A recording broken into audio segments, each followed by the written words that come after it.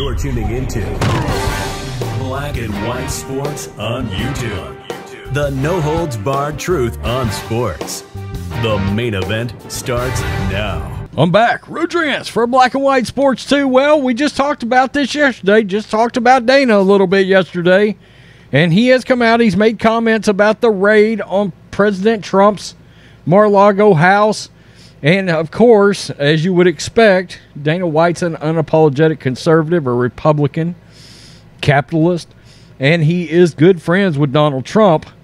And he called this crap madness. He also pointed out something I think we all know. Shit, you should have raided a bunch of other people's houses, i.e., Hunter Biden. I mean, come on. Let's get real. Outkick. It could it shouldn't come as a surprise. UFC president Dana White didn't agree with the FBI's raid on President Trump's Mar-a-Lago estate over whatever they were looking for. White is a longtime supporter of Trump who has appeared at a at campaign rallies and even spoken at the 2020 RNC. But there's a quote from White's press conference this week that should reg- resonate with those with half a brain. Let's check it out. He says it right here.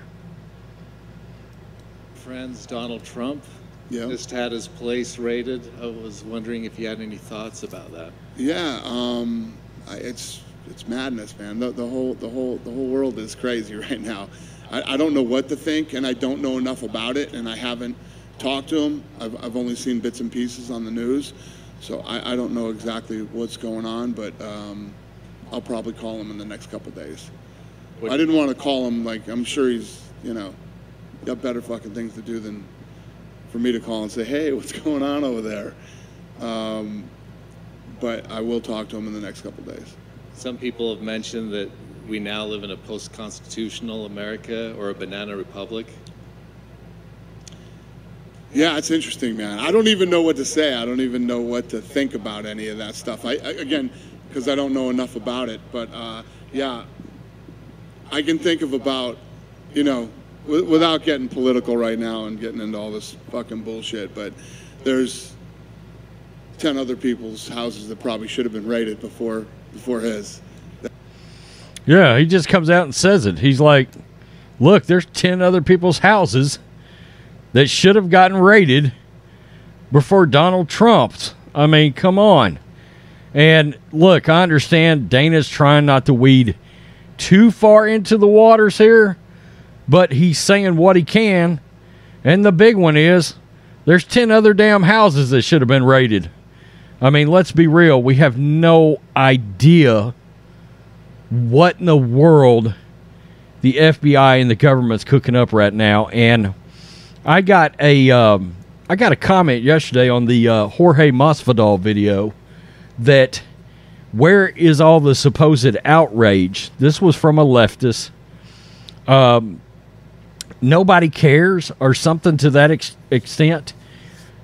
I have never, out of everything that's happened, even the election, okay, and we won't go into that because this is the wrong platform for it.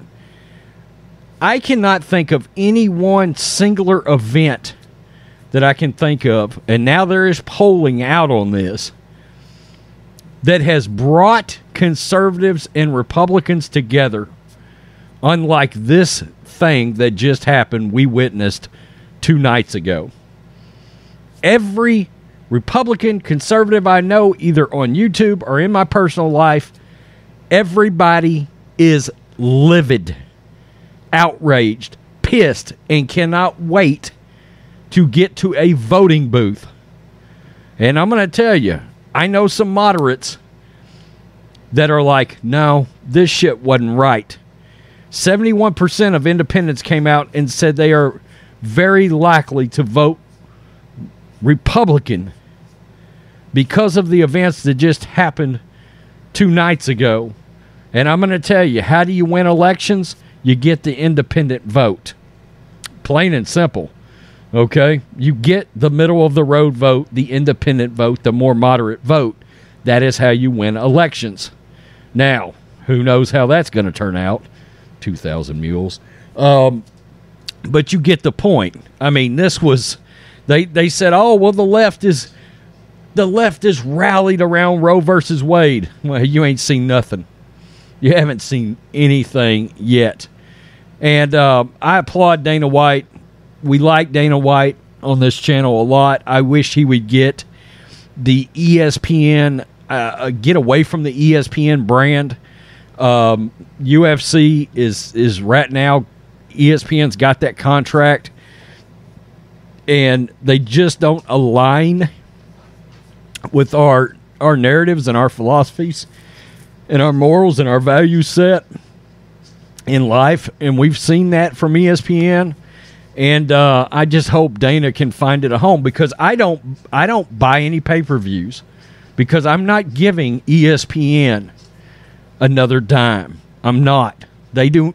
ESPN is not getting money from me, and I'd love to support Dana more than I outside of watching the stuff that's free. But I'm just not going to purchase anything from ESPN, and I understand they got that contract before they really went off the rails, and I get that. Um, but uh, he is unapologetically Republican, capitalist, businessman, and him and Trump are are pretty damn close.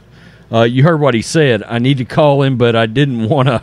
I didn't want to call him up and be like, "What the fuck's going on?" The day of, or, or, or the, even the day after, the couple of days after that happens. I understand. I wouldn't necessarily want to call him either.